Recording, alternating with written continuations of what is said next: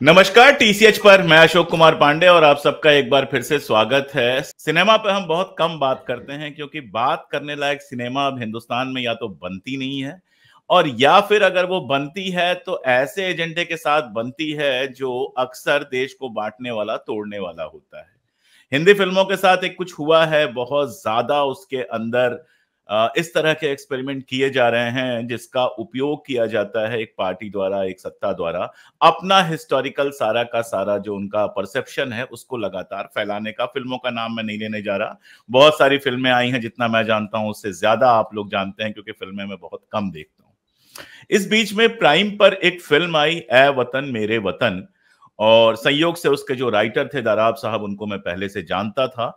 तो उस इंटरेस्ट में मैं वो फ़िल्म देखने गया, क्योंकि हिस्ट्री पे जब कोई फ़िल्म आती है तो स्पेशल इंटरेस्ट होता ही है। और इतनी शानदार वो फ़िल्म लगी, तकरीबन दो घंटे की वो फ़िल्म और एक बार में बैठ के आप पूरा देख जाते हैं कि लगा कि इस फ़िल्म को तो हॉल में होना चाहिए था, लेकिन फ़िल्में हॉल में कैसे जाती हैं, कैसे नहीं जाती हैं, उसको भी डिस्कस करने का कोई मतलब नहीं है। आज हमने फ़िल्म के डायरेक्टर कर्नल साहब को और राइटर दराब फारूकी साहब को आमंत्रित किया है कि जरा इस फ़िल्म के बारे में बात की जाए। आप दोनों लोगों को नमस्कार बहुत शुक्रिया हमारे साथ हमारे शो में आने के लिए। नमस्कार। नमस्कार सर। दरअब भाई दरअब भाई आपसे बात शुरू करते हैं। हालाँकि ये बड़ा क्लीशे टाइप का क्वेश्चन है कैसे सूझी वाला।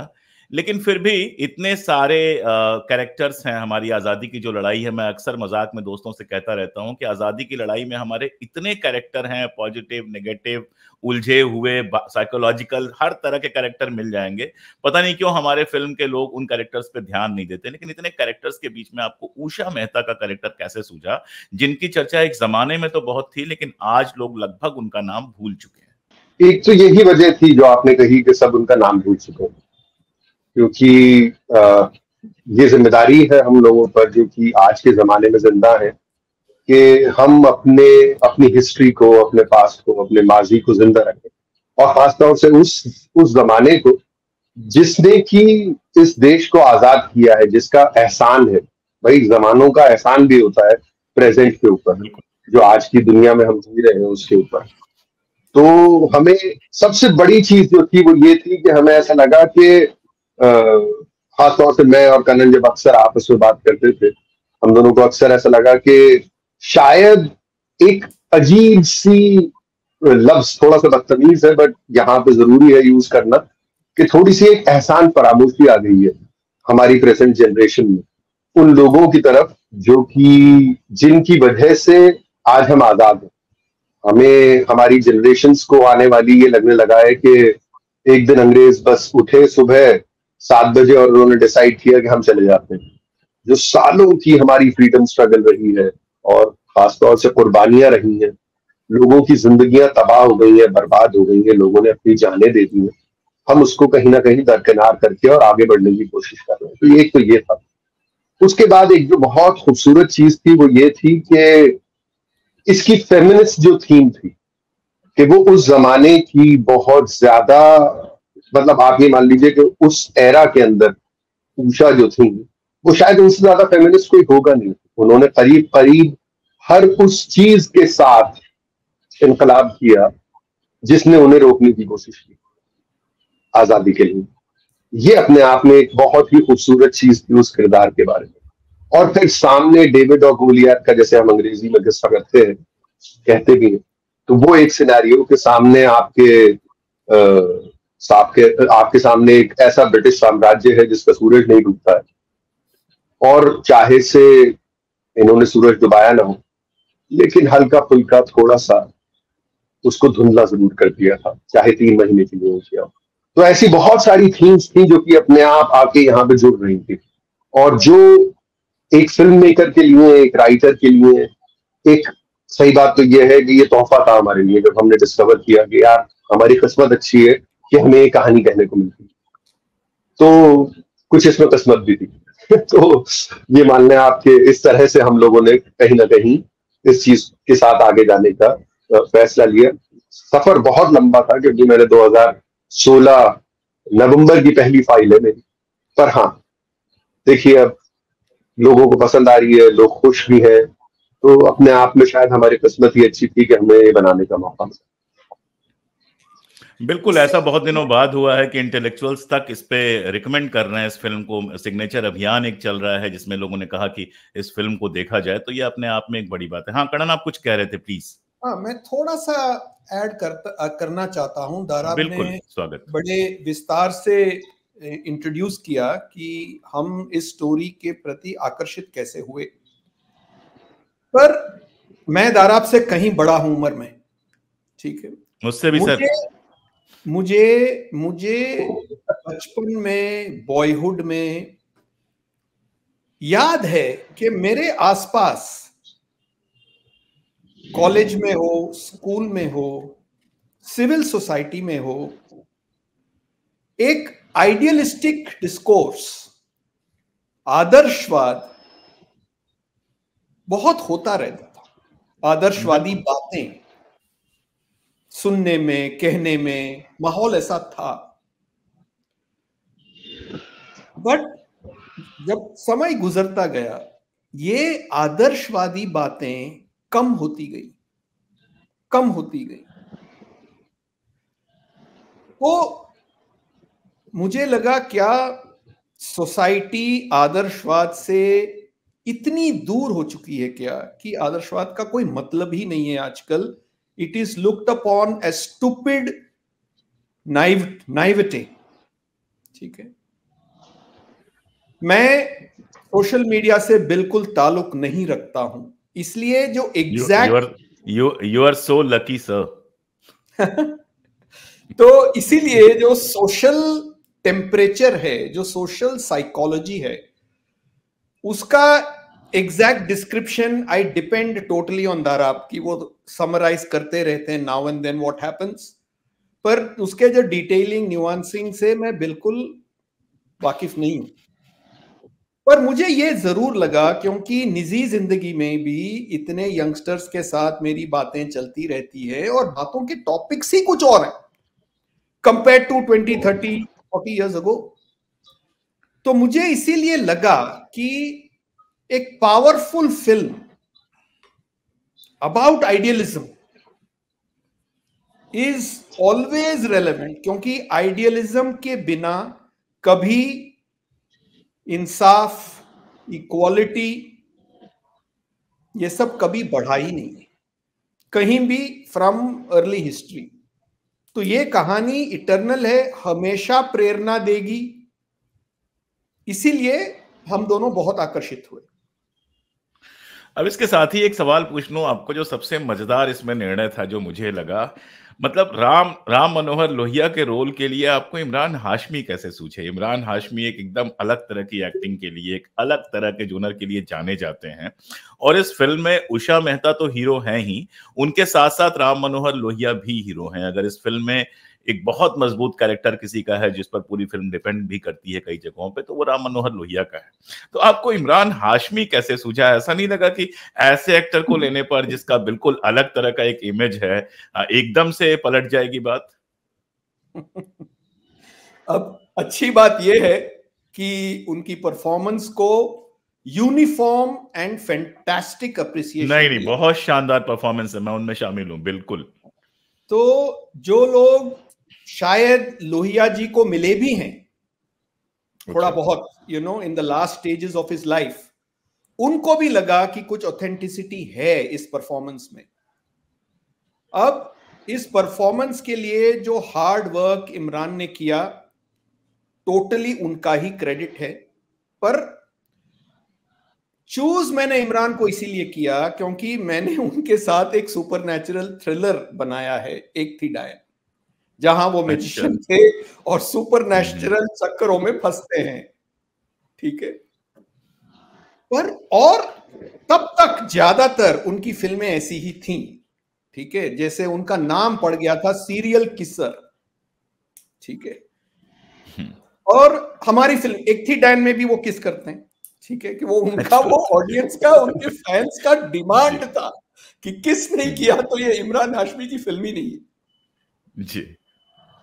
पर जब मैं उनके साथ, में जब काम करता था, मुझे लगा, यार, ये इतना माहिर एक्टर है, इतना सटल है, इतना कंट्रोल्ड एक्टर है कि इसके साथ तो बेहद इंसाफी हो रही है।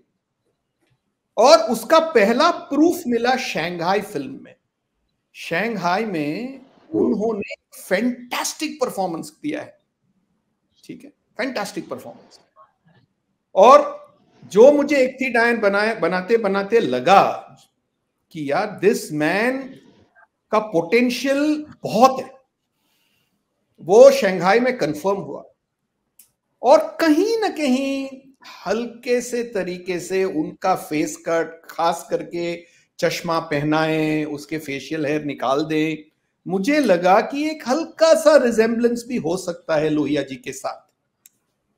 और जब ने जब हमने उनका लुक टेस्ट किया और वो वो बहुत ही बंबैया आदमी है ठीक है? बिल्कुल।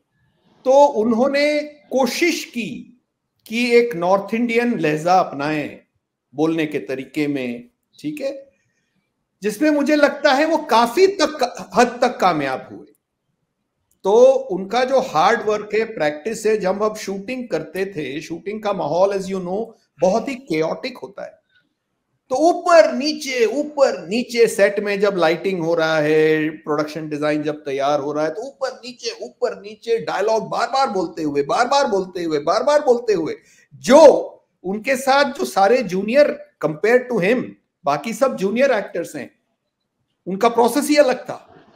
तो ये सौ बार दो सौ बार डायलॉग शॉट के पहले रिहर्स करते तो उतनी कमिटमेंट जब इतने माहिर केपेबल एक्टर दिखाते हैं तो ज़ाहिर है परफॉर्मेंस अच्छा ही होगा।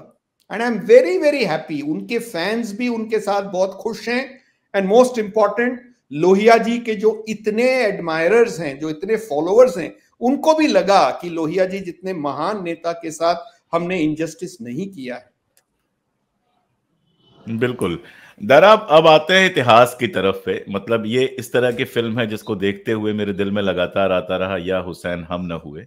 क्योंकि मेरा तो वही फ़ील्ड है, आप जानते हो, अच्छी तरह से आज़ादी की लड़ाई और कश्मीर मेरी दो ही, मेरे दो ही नशे हैं, दो ही एक्सपर्टीज हैं तो और फ़िल्म देखते देखते मैंने आपको मैसेज भी किया था, वो सब आपको पता है।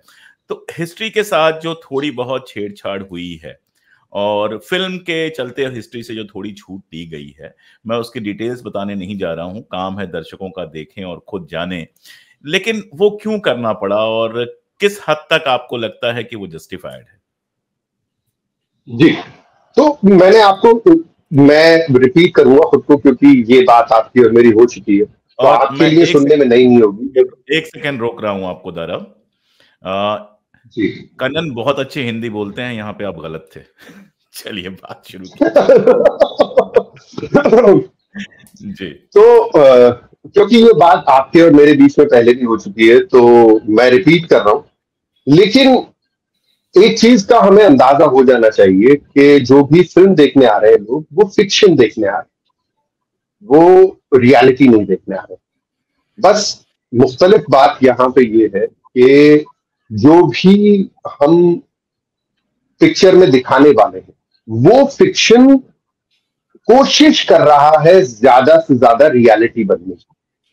वो कभी भी अपने आप को रियलिटी बताने की कोशिश नहीं कर रहा और हमारी जो सबसे ज़्यादा जो चैलेंज रहता है as a writer director actor वो कॉपी करना इमुलेशन ऑफ़ लाइफ ही रहता है इसके अंदर। लेकिन ये बात ऑडियंस को समझ लेनी चाहिए कि फ़िल्म हमेशा फ़िल्म है। मतलब उसके अंदर एग्जैजरेशन एक टूल है बाकायदा। अगर आप, और ये आज आज से नहीं है मतलब अगर आप पोइटिक्स पढ़ेंगे तो रोमन जमाने से ये डिफाइंड है कि फिक्शन के कुछ पहलू हैं जिनके अंदर आपको सारी चीज़ें टिकमार्क करनी पड़ती है। एक जो चीज़ हमने, और ये बात क्योंकि मैं आपसे पहले भी कर चुका हूँ, मुझे इसलिए रिपीट करने में थोड़ी सी हिचक हो रही है पर मैं लेकिन आप आप मुझसे नहीं आप आप मुझसे नहीं दर्शकों से बात कर रहे हैं। जी जी जी तो एक जो चीज़ है वो ये है कि हमने कुछ चीज़ों को बदला है लेकिन हमने स्पिरिट को कभी भी नहीं बदला।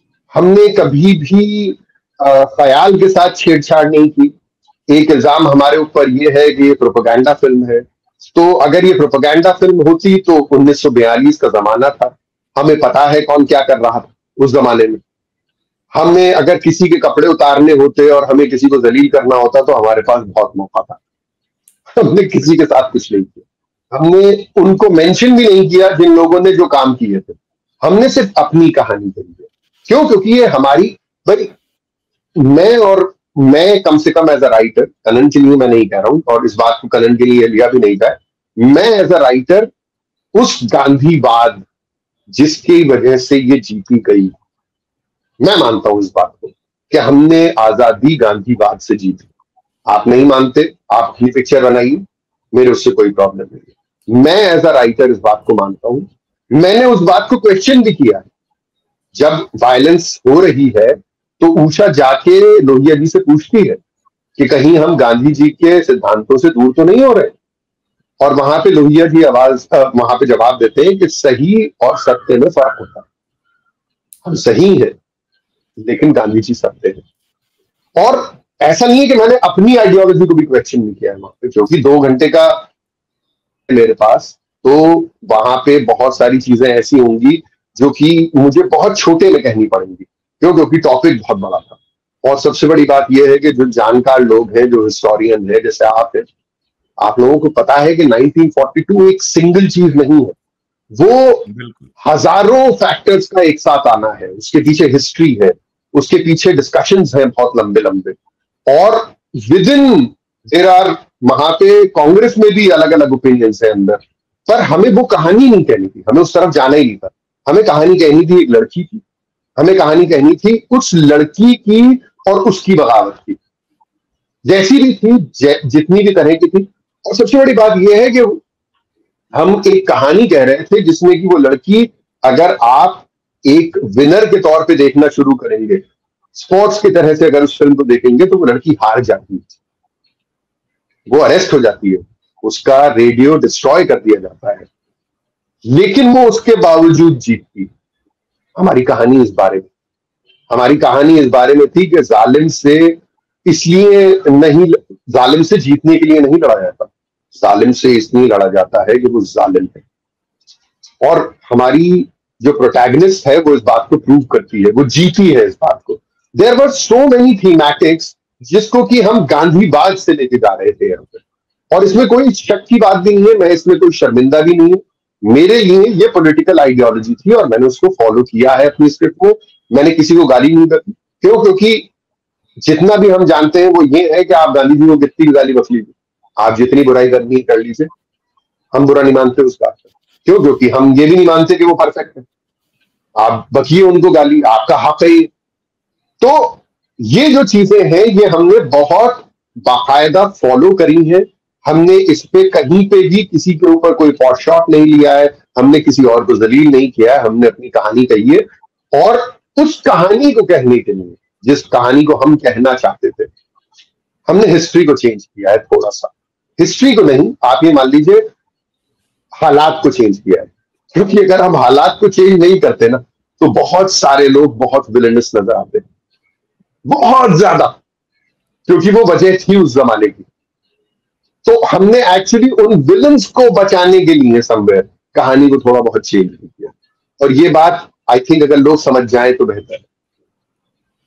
हाँ कुल मिला जुला के ये है कि नीयत कहीं से चेंज नहीं की गई है और उषा मेहता के बारे में जो लोग नहीं जानते हैं उनको मैं बताऊँ कि जो आफ्टर लाइफ है उनकी रिहा होने के बाद की आफ्टर लाइफ है वो भी उतनी ही बड़ी है वो पॉलिटिक्स में नहीं गई समाज सेवा में रही और गांधी स्मृति संस्थान जैसे कितने सारे संस्थान उन्होंने बनाया यूनिवर्सिटी की प्रोफेसर रही।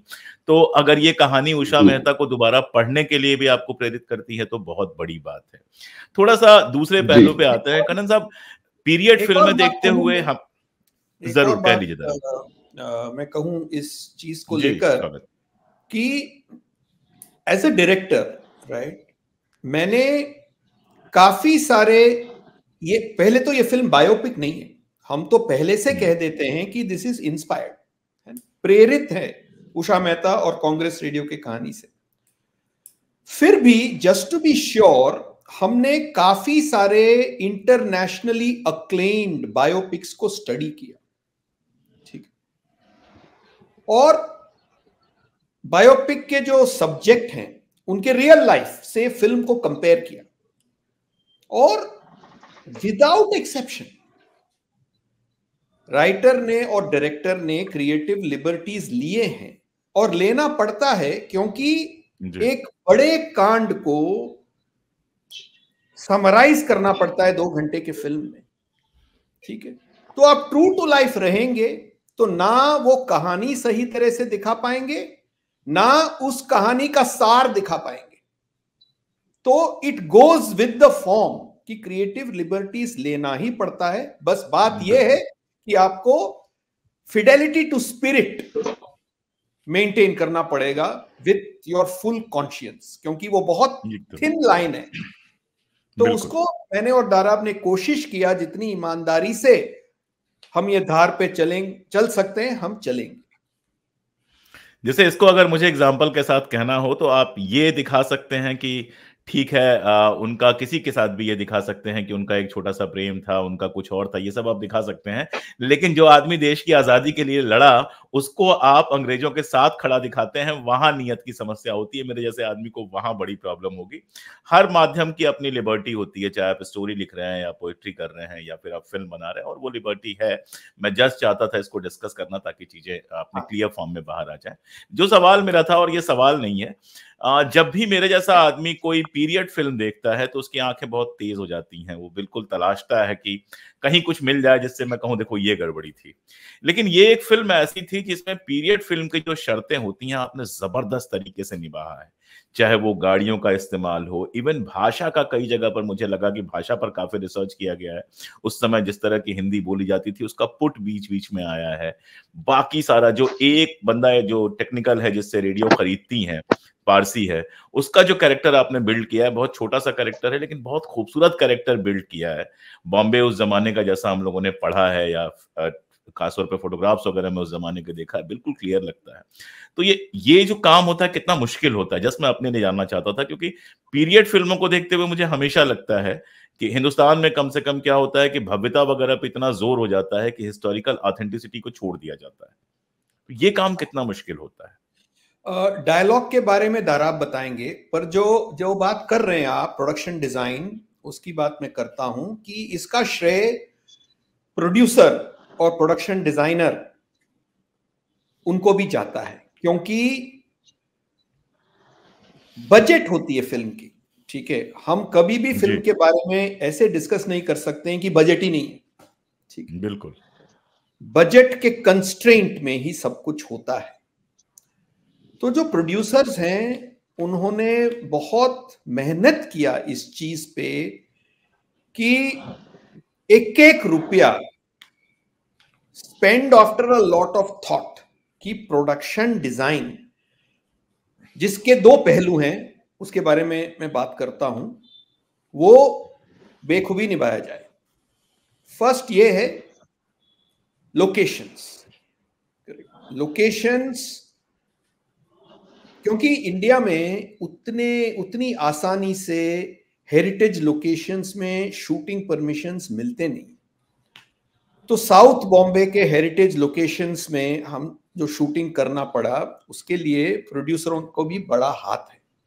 उसके अलावा हाउ टू क्योंकि वो सारे लोकेशंस बदल चुके हैं, उसमें बहुत सारे मॉडर्न एलिमेंट्स हैं। तो उसमें मॉडर्न एलिमेंट्स कैसे निकाला जाए और उस पीरियड एलिमेंट्स कैसे डाला जाए? ये C G I V F X studio का काम है। तो इन सब चीज़ों में as a director I can do only as much as producer support क्योंकि ये इनफाइनाइट है इन टर्म्स ऑफ़ बजट तो प्रोड्यूसरों ने टोटली कमिटेड सपोर्ट दिया इस चीज़ को लेकर कि try and create as authentic 1942 Bombay as possible तो प्रोडक्शन डिज़ाइनर और प्रोड्यूसरों का भी श्रेय है इसमें। भाषा को लेकर दाराब आपके ऊपर मतलब जो ये फ़िल्म आप लिख रहे थे, या आज के दर्शक के लिए लिख रहे थे, भाषा उस दौर की थी। हिंदुस्तानी का आपने काफ़ी इस्तेमाल किया है इसमें, जो पूरी भाषा है, वो हिंदुस्तानी भाषा है। आपको लगता है, कहीं से आपको ये लगता है कि सिनेमा जिस तरह से भाषा को लेकर खेल रहा है हमारी हमारी भाषा की बर्बादी में सिनेमा का भी अपना रोल है या हमारी भाषा की बर्बादी से सिनेमा में भाषा की बर्बादी हुई है? तो एक जो मेरे पे इल्ज़ाम है यहाँ पे, वो ये है कि मैंने क्लिष्ट कुछ हिंदी के शब्द यूज़ किए हैं और कुछ क्लिष्ट उर्दू के शब्द यूज़ किए हैं। तो मैं और कनन स्ट्रगल कर रहे थे कि कैसे इसको डील किया जाए इस भाषा के साथ। तो हमने डिसाइड किया कि लोहिया जी की स्पीचेस जो है उनको स्टडी किया जाए। जैसे गुलजार साहब अक्सर ऐसा करते हैं कि वो स्क्रिप्ट पढ़ते हैं और स्क्रिप्ट में से कुछ अल्फाज ले लेते हैं और फिर उनको अपनी पोइट्री में यूज़ करते हैं तो वो उस दुनिया के हो जाते हैं। लोहिया जी का ये एक अगर जो भी इंटरेस्टेड है वो यूट्यूब पर जाके देख सकते हैं।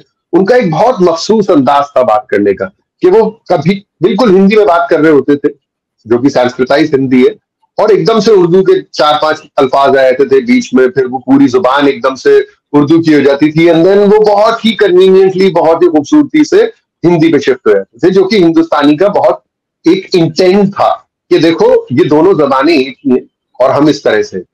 हुआ ये है कि लोगों को अब आप इमेजिन करिए कि इकाई के ऊपर प्रॉब्लम कि तुमने इकाई शब्द यूज़ कर दिया। मैं इस बात पे किसी मैं जयपुर में पैदा हुआ आप भी नॉर्थ में पैदा हुए।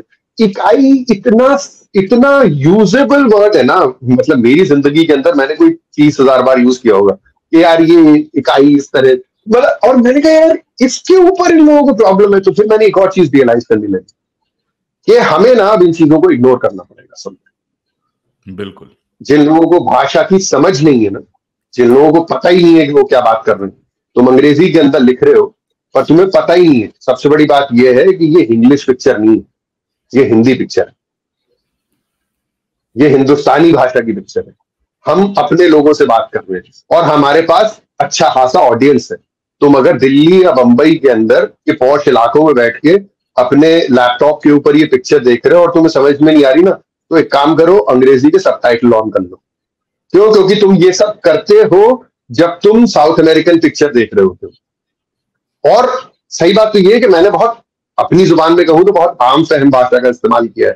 मेरे लिए एक भी शब्द ऐसा नहीं था कि जो कि मेरी समझ में नहीं आ रहा था। मैं लोगों से फ़ोन करके भी पूछता था कि यार, भाई, जैसे मैं जयपुर में अक्सर फ़ोन कर लेता था कि तुम्हें यार ये शब्द अजीब सा तो नहीं हो रहा है, ये शब्द अजीब। और उनको सबको समझ में आ रहा था। तो मैं कॉमन जो हमारी जनता है, उसको सर्व करने की कोशिश कर रहा था इसके अंदर। अब अगर आप अंग्रेज़ी माध्यम इस कदर हो गए हो अपनी ज़िंदगी के अंदर कि आपको इकाई समझ में नहीं आ रहा है, आपको प्रतिष्ठा समझ में नहीं आ रहा है तो फिर अब मैं कुछ नहीं कर सकता उस चीज़ का। वो आपकी प्रॉब्लम है, आपको हैंडल करिए। मैं तो हिंदी, हिंदुस्तानी पिक्चर लिखने के लिए जा रहा हूँ। मेरा कोई एम्बिशन भी नहीं है अंग्रेज़ी पिक्चर लिखने का। तो अगर आपको अंग्रेज़ी पिक्चरें लिखनी, देखनी है तो आप दूसरी पिक्चरें देखिए। ये हिंदी पिक्चर है। और हमने हिंदी पिक्चर बनाई। है तो मेरे दिल के अंदर ज़ीरो क्या कहते हैं उसे, ग्लानी है। मैं एक्चुअली यहाँ पे थोड़ा सा टिपिकल वर्ड यूज़ कर देता हूँ। मेरे दिल में ज़ीरो ग्लानी है इस बात को लेके कि आप पिक्चर समझ में नहीं आ रही। वो आपकी प्रॉब्लम है सब टाइटल ऑन कर लो और देख लो। अच्छा आखिरी सवाल की तरफ़ चल रहा हूँ और दोनों से आपका यह सवाल है कि फ़िल्म है इतिहास की लेकिन बनी है आज की। और कुछ इस तरह से बनी है कि आज के सवालों को भी एड्रेस कर रही है और बहुत कायदे से एड्रेस कर रही है, चाहे वो कम्युनलिज्म का सवाल हो, चाहे देश के अंदर जिस तरह से इंटरनल बंटवारा बढ़ रहा है, उसका सवाल हो, चाहे फिर कैपिटलिज्म का अपने तरीके से सवाल हो, ये सारी चीज़ें इसमें कहीं ना कहीं से आ रही हैं। तो निश्चित रूप से कुछ भी यूँ ही नहीं होता, ये सब वेल थाट होगा। कि उषा मेहता की कहानी के माध्यम से आज के सवालों को भी थोड़ा बहुत एड्रेस किया जाए या फिर हिस्ट्री से क्या सीखा जा सकता है ये लोगों को बताया जाए। और शायद इसीलिए इसको एजेंडा फ़िल्म वगैरह वगैरह लोग कह रहे हैं आप भी शेयर करते हैं कभी कभार मैंने भी यहाँ वगैरह यहाँ देखा है। आ, तो सवाल ही नहीं है ये बस इतनी सी बात है कि मैं चाहता हूँ इस पर आप अपनी बात रखें आप दोनों लोग। करण आप बोल लें थोड़ा बहुत जितना बोलना है फिर मैं बोल दूँगा। नहीं, बात यह है कि अगर हम आधुनिक इतिहास लें तो the most inspirational time has been the time of the freedom struggle under the leadership of Mahatma Gandhi Mahatma Gandhi पर जब कीचड़ फेंका जाता है तो मुझे बहुत बुरा लगता है। क्योंकि हम ये कभी नहीं भूल सकते हैं कि महात्मा गांधी और बुद्ध, ये दो ही, दो शख्सियत हैं जो पूरे दुनिया में लोग इंस्पिरेशन लेते हैं। When it comes to political protest Mahatma Gandhi when it comes to spiritual growth Buddha, ठीक तो Mahatma Gandhi is so important to world history he, his ideas will be forever relevant and especially relevant today. तो फिर वो film के हर scene में जहाँ जहाँ ideology discuss होता है, वो हर सीन में बाहर आता है। याद आ जी। तो मेरे लिए थोड़ा सा ये मामला मुख्तलिफ़ था। जब मैं लिख रहा था तो मैं बहुत कॉन्शियस था उस दुनिया के बारे में, जिस दुनिया में मैं जी रहा हूँ। और मैं ज़िंदा हूँ और हमें ये भी दिख रहा था, जैसे जैसे हम रिसर्च कर रहे थे, कि दुनिया में जो इश्यूज़ हैं, वो ज़्यादा बदलते हैं नहीं। असल में टेक्नोलॉजी और साइंस चीज़ों को बदल ज़रूर देता है। थोड़ी सी आपकी ज़िंदगी कन्वीनियंट हो जाती है, थोड़े से। लेकिन जो इश्यूज़ हैं, वो बदलते नहीं है। ऐसा नहीं है कि गरीबी खत्म हो गई है दुनिया से। और ऐसा भी नहीं है कि हर आदमी आज़ाद हो गया है दुनिया के अंदर। और आज़ादी भी एक स्टैटिक चीज़ नहीं है, रुका हुआ पानी नहीं है। वो नदी है। आज़ादी को लगातार चलते रहना पड़ता है और आज़ादी पे बाँध बनते रहते हैं। और आज़ादी के जो दीवाने हैं, उनको वो बाँध तोड़ने भी पड़ते हैं। और ये थीमेटिक था हमारी पिक्चर का, मेरे लिए एज अ राइटर कि जो भी बाँध आज़ादी पे बंधेगा, चाहे छोटा हो, चाहे बड़ा हो, आप एनीकट कह लें उसको। कि हाँ छोटी नदियों पे एनीकट बना देते हो। लेकिन हम तोड़ेंगे उसको। क्यों? क्योंकि हमें आज़ाद लोग पसंद हैं, हमें आज़ाद भी पसंद है। और थीमेटिक हर वक्त आपको उसी की बात करता है। आपको हमारे लिए वहाँ पे ऊषा है, जो कि रिप्रेजेंट कर रही है इस आइडिया को। और वो आप लगातार देखेंगे अपने फादर के साथ, अपने बॉयफ्रेंड सो कॉल्ड बॉयफ्रेंड के साथ, अपनी ज़िंदगी की चॉइसेस के साथ और फिर अंग्रेज़ों के साथ। लगातार ये चॉइसेस बना रही है कि जो भी चीज़ इस इस नदी के प्रवाह को तोड़ेगी या रोकेगी, मैं उस बाँध को तोड़ दूँ एंड यही हमारा लार्जर थीमेटिक था, हमने वही बात कही है जो कि आप लोगों के सामने। सिनेमा हॉल में क्यों नहीं आई फ़िल्म? मुझे लगता है मैं जितने दोस्तों से सिनेमा के मिला हूँ हाँ। सबको सबके लिए फ़र्स्ट प्रायोरिटी वो बड़ा वाला हॉल होता है। ठीक है बाकी सारा कुछ आ गया। लेकिन उस बड़े वाले हॉल में अपने किए को देखने का अपना मज़ा होता है। मैं समझ सकता हूँ इस चीज़ को। हम लोग जैसे लोग किताब देखने का जो मज़ा होता है वो कहीं और नहीं होता है। तो आपके लिए वो सिनेमा की स्क्रीन है जहाँ पे आप लिखते हैं। तो वहाँ ये फ़िल्म क्यों? ये ये फ़िल्म का जो डेवलपमेंट है वो इस उस जमाने में हुआ जब कोविड आया था। Okay. कोविड के बाद कोविड के बाद ओटीटी जो प्लेटफॉर्म्स हैं वो बहुत बड़े हो गए। और थिएटर बिज़नेस बहुत कम हो गया था। तो लोगों को लगा कि थिएट्रिकल बिज़नेस में उतना फ्यूचर नहीं है। ठीक है? और इस फ़िल्म की बजट बाय सर्टन स्टैंडर्ड्स काफ़ी बड़ी बजट है, ठीक है? तो उनको लगा कि क्योंकि अभी है ना, अभी पठान सिनेमा के बाद कॉन्फिडेंस इन थिएट्रिकल बिज़नेस फिर से आ गया है। तो ये फ़िल्म अगर आज डेवलपमेंट में होती तो लोग सोचते प्रोड्यूसर सोचते, नहीं यार, इसको पहले थिएटर में लगाते। पर उस जमाने में थिएटर बहुत लोग नर्वस थे थिएट्रिकल रिलीज़ पे। तो पहले से फिर प्लानिंग हो गई कि इसकी रिकवरी बेस्ट होती है, क्योंकि आप ये ओटीटी प्लेटफॉर्म के नज़रिए से देखिए, वो क्या करते हैं कि फ़िल्म ओनली ऑन ओटीटी इसका मतलब यह है कि इस पिक्चर को देखने के लिए और सब्सक्राइबर्स जुड़ेंगे और उनका रेवेन्यू बढ़ेगा। बट अगर फ़िल्म पहले थिएटर में आ चुकी है तो to become subscribers just to see this film वो होगा नहीं। क्योंकि हम्म। जिनको पिक्चर देखना है उन्होंने थिएटर में तो देख ही लिया होता है। और एग्जिस्टिंग सब्सक्राइबर्स ज़्यादातर देखेंगे उसको ओटीटी में। बिज़नेस मॉडल की वजह से ये हुआ है। नो अदर रीजन ऑल्सो ये ओरिजिनल अमेजॉन प्रोडक्ट है। इसका कभी रिलीज़ होने का तय ही नहीं हुआ था। अगर आप देखेंगे ना तो स्टार्टिंग में आता है ओरिजिनल अमेजोन मूवीज़ तो ये ये मतलब आप ये मान लीजिए कॉन्ट्रेक्चुअल है। कि इसका कभी रिलीज़ का कोई बात ही नहीं थी। ऑफकोर्स मैं और कनन तो हमेशा से थोड़े से नर्म थे इस बात को लेके कि यार ये पिक्चर कभी रिलीज़ ही नहीं होगी। हमें तो पहले दिन से मालूम था but that is a thing हमें सबको पता था कि ये ऐसा ही होगा। तो ऐसा नहीं समझा जाए कि ये रिलीज़ नहीं हो रही थी तो अमेजोन पे आएगी एक्चुअली ये कभी रिलीज़ होनी ही नहीं थी। इसमें ये पिक्चर ही अमेजोन की है, उनका ही प्रोडक्ट तो ये फ़िल्म आपके मोबाइल में, आपके लैपटॉप में, आपके टैब में अवेलेबल है, लीगली अवेलेबल है। अमेजन प्राइम पर आप बिल्कुल अपने मोबाइल पे देख सकते हैं। इस फ़िल्म के कुछ कैरेक्टर्स हैं जो इतिहास में थे या नहीं थे, मुझे नहीं पता, क्योंकि ऐसे कैरेक्टर्स के बारे में इतिहास में बात नहीं होती है, लेकिन मैं आपसे शेयर करना चाहता हूँ।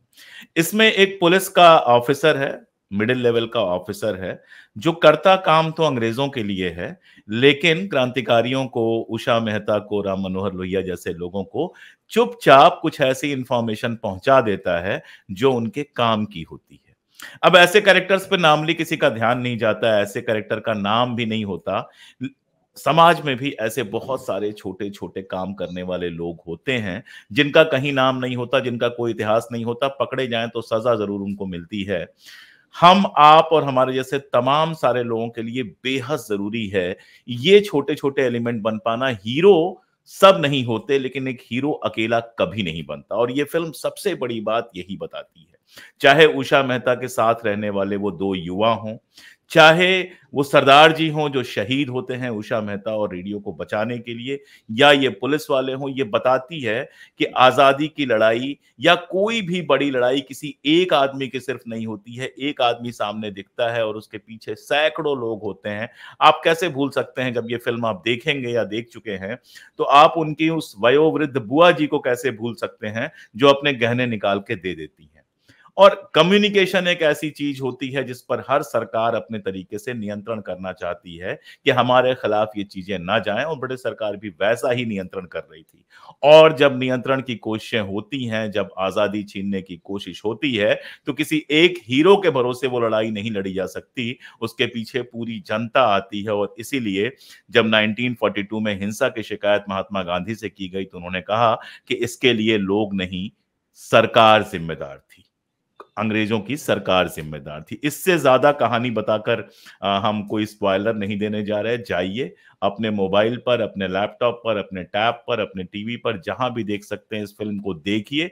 और खास तौर पे हमारे दौर के जो युवा हैं, आपके घर के जो बच्चे हैं, उनको ज़रूर ये फ़िल्म दिखाइए। मेरी बेटी ने ये फ़िल्म देखने के बाद कहा था I was waiting for such a movie इस तरह के सिनेमा के लिए मैं इंतज़ार कर रही थी।